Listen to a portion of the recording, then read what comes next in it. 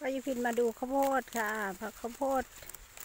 ที่มันแห้งแล้วต้นนี้มีสามฝักค่ะ มีสามฝักเนาะก็เลยจะมาดูว่ามันมีเม็ดไหมสามฝักก็มีนะคะ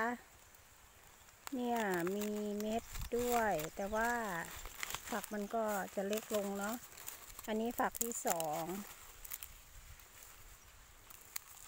ฝักที่สองก็มีเม็ดค่ะนี่ไง ค่ะ อันนี้น่าจะเป็นฝักแรก อันนี้น่าจะเป็นฝักแรกค่ะ ฝักแรกก็มีนะบางคนบางคนเขาก็บอกว่า ถ้าเป็นแง่งแล้วมันไม่มีเม็ด ถ้ามันรีบๆแบบนี้มันก็ไม่น่าจะมี ถ้าเป็นรีบๆอย่างนี้ไม่น่าจะมี มีก็น่าจะห่างๆเนาะเนี่ยมีก็น่าจะหน่อยนึง อันนี้สองฝัก จับดูแล้ว น่าจะใช้ได้ น่าจะมีอยู่ค่ะ ก็ฝักใหญ่อยู่ค่ะ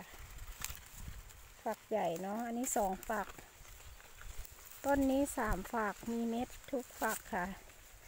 ต้นนี้ยังยังไม่ทันได้แก่เลยค่ะแต่แต่เพื่อนเพื่อนเขาน่าจะโตก่อน แห้งแล้วค่ะ แปลงนี้แห้งแล้ว แปแปลงต้นทองที่ติดน้ำกัน ถ่ายรูปลงติดน้ำกันบ่อย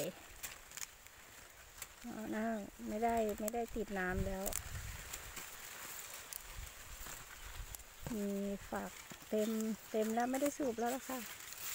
ไม่ได้สูบแล้วฝักนี้ใหญ่ มีแต่ฝักใหญ่ๆค่ะ มีแต่ฝักใหญ่ๆเนาะมีแต่ฝักใหญ่ๆวันนี้ของลูกสาวค่ะ ของลูกสาวทิ้งน้ำแล้วค่ะทิ้งน้ำแล้ว ไม่ได้สูบแล้วแห้งแล้วค่ะแห้งแล้วล่ะฝักแดงเม็ดแดงแล้วค่ะรอต้นแห้งอย่างเดียวนะ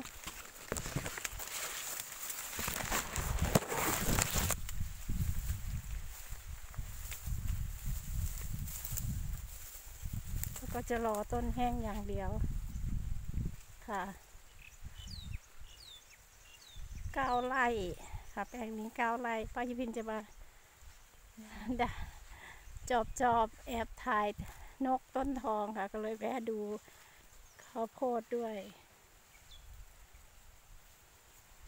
เดี๋ยวจะไปแอบถ่ายนกบนต้นทองก่อน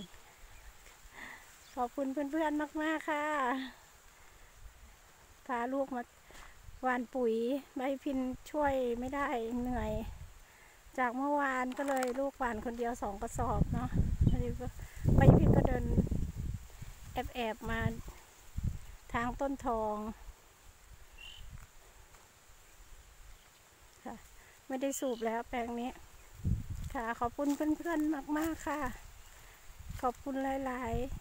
ๆ วันนี้